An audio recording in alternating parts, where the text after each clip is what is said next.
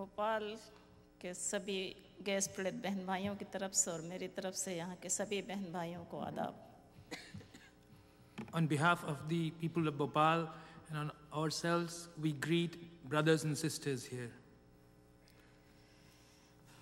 जब हमने सुना कि चंपा दीदी और मुझे इतना बड़ा इनाम मिला है तो थोड़ी देर के लिए हम खामोश हो गए और कुछ देर के बाद हमने सोचा कि दुनिया के कुछ लोगों को हम जानते हैं, जिन्हें ऐसा इनाम मिला है, जो पढ़े लिखे हैं, अंग्रेज़ी जानते हैं, ईमेल वगैरह इस्तेमाल करते हैं। तो ऐसा तो नहीं कि कहीं गलती से हमारा नाम इनाम देने वालों ने चुन लिया हो। और जैसा कि अभी आपने वीडियो में देखा कि दुनिया के सबसे ख़तरनाक औद्योगिक हादसे के पीड़ित दुनिया की नंबर वन केमिकल कंपनी से लड़ाई लड़ रहे हैं।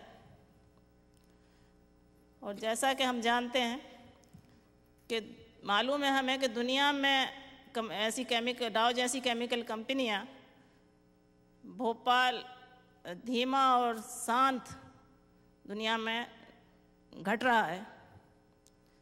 और हम ये भी जानते हैं कि दुनिया भोपाल की ही नहीं, दुनिया की माओं के दूध में रासायनिक जहर घुल रहा है। और दुनिया में भोपाल हादसा इंसानियत के खिलाफ, कंपनियों के जुल्म को, जुल्मों का एक जीता जागता नमूना है। हमें मालूम है कि जिस दिन हम डाओ कंपनी को भोपाल की ज़िम्मेदारी दिला देंगे उस दिन दुनिया के आम इंसानों का एक खुशनुमा दिन होगा। और दुनिया की कंपनियाँ ये सोचने पर मजबूर हो जाएँगी, जहर बनाते और बेचते और मुनाफा कमाते वक्त कि इंसानी ज़िंदगी और सेहत और इंसानियत पे इसका क्या असर होगा।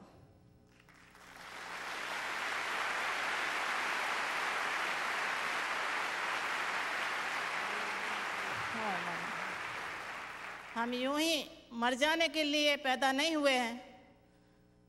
हम सत्ता और पूंजी के आसन पर चढ़ाए जाने वाले फूल नहीं हैं। हम भोपाल की नारी हैं, फूल नहीं, चिंगारी हैं।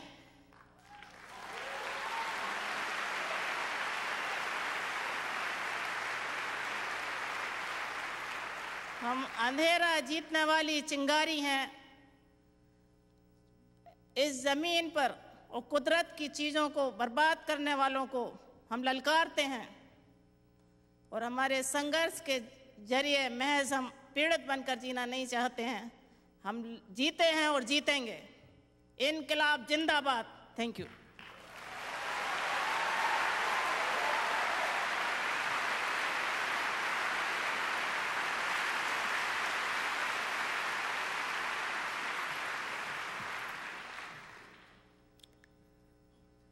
मेरी तरफ़ से और भोपाल के वालों की तरफ़ से आप लोगों को नमस्कार।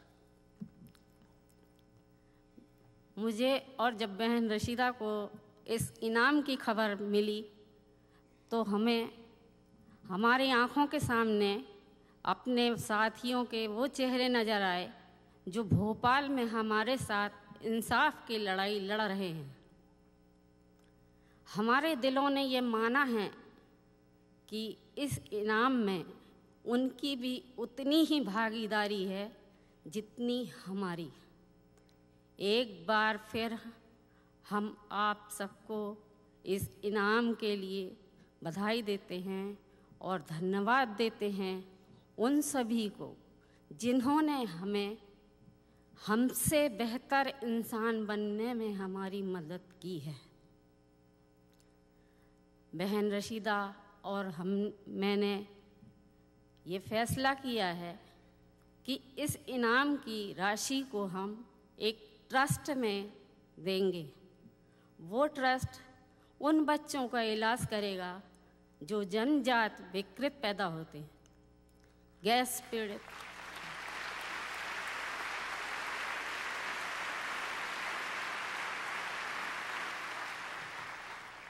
गैस पीड़ित महिलाओं को रोज़गार देगा। और इसमें से हम एक इनाम वो स्थापित करेंगे जो हमारे देश में कंपनियों के जुर्म के खिलाफ लड़ने वाले एक आम इंसान को दिया जाएगा।